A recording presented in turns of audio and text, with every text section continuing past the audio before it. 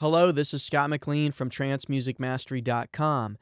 And in this video, I'm going to continue the tutorial of how to mix kick and bass. And uh, this is video number three. So uh, if you haven't seen the first two videos, go find those first and um, watch those. They talk about how to set up Voxengo SPAN to uh, receive the inputs from the kick and these four bass tracks so that we can use the Voxengo SPAN Spectrum Analyzer to understand where some uh, frequency conflicts are occurring and make EQ decisions based on that. Okay, so we're going to start by tackling the kick and this first bass track.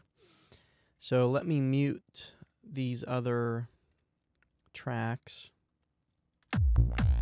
And right now we've got the kick going into the left channel and the bass going into the right. And uh, that's great for our Voxengo setup so that we can uh, see the different um, spectrums in the in the span VST plugin, but uh, not so great for what we want to do as far as listening. So what I'm going to do next is I'm going to add an instance of utility plugin on the master channel and set the width to zero just so to make it easier to hear both of these uh, kick and bass sounds uh, blended together uh, in a mono signal. So that'll help make some listening judgments.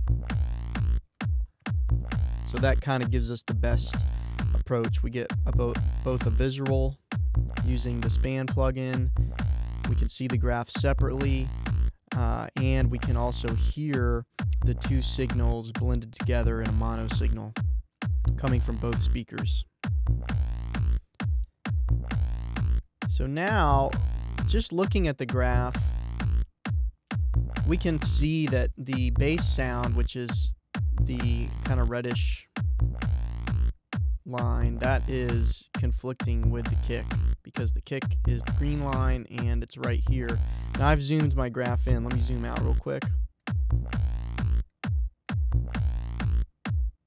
So overall, the green the green line is the, the kick spectrum,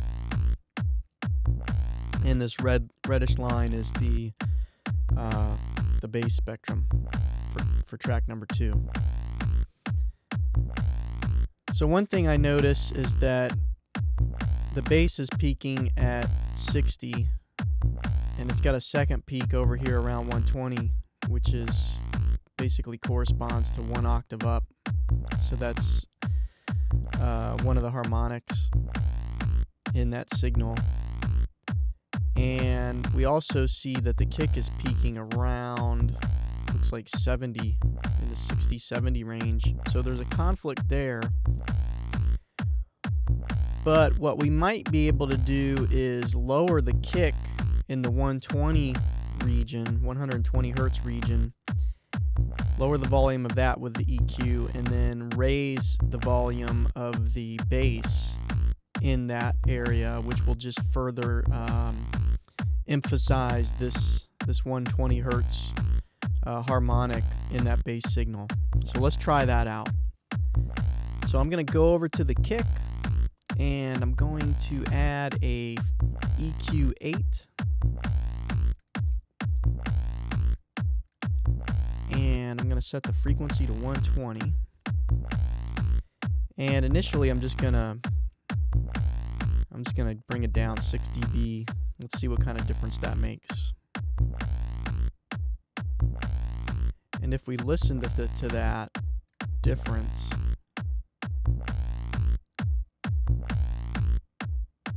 okay, it did take some of the, the body out of the kick.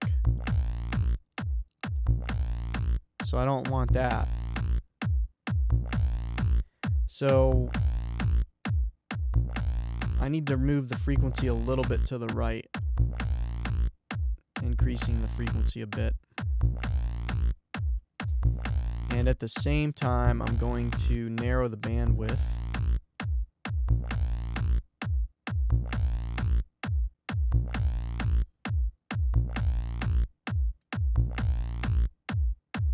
And what I'm doing is trying to listen to the kick. And hear. I don't want to lose that that body. So now I'm going to uh, bring down the frequency a bit.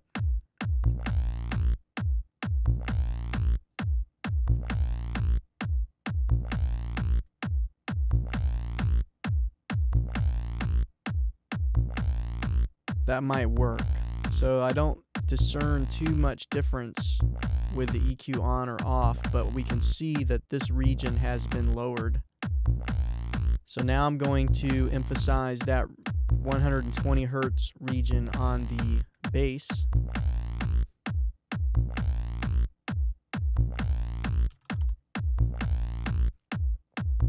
I'm just going to raise it, try 6 dB to begin with. Can always bring it back if needed. Yeah, let's lower it a little.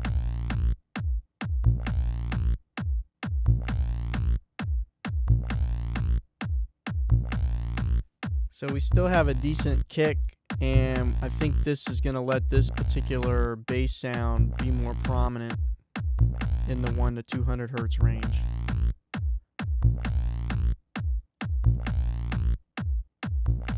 So without EQ on the bass,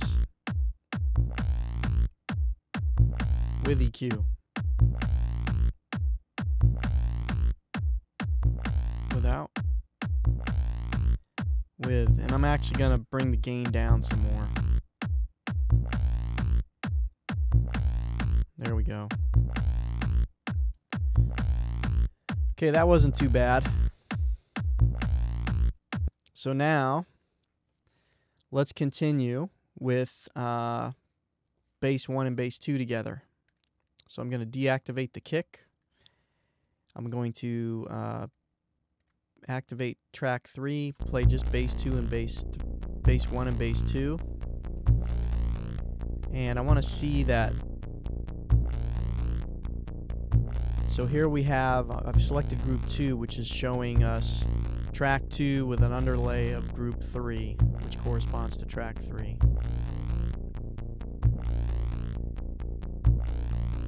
So this one, this bass sound is it's peaking at the same region. So, and it's got some sub below 40 here. It might sound neat to, uh, I wonder what it would sound like if we emphasize this 30 to 40 range, which is definitely clear of the kick because the kick was peaking up here around 70 and that would not conflict at all with with this second bass signal the first bass signal. And then we need to make sure that we uh, leave some room here. We don't want this to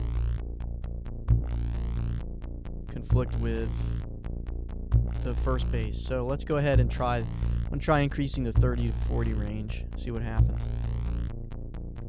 hi guys Listen, this video is uh, 50 minutes long, and I decided instead of splitting it up and uploading the different parts to YouTube, I would just make the full version available on my website, trancemusicmastery.com. It's in high definition, and the audio quality will be much, much better than what you're hearing now on YouTube. So go over to trancemusicmastery.com and just sign up. It's free and that will give you access to the members area where you can download the remainder of this video. Thank you.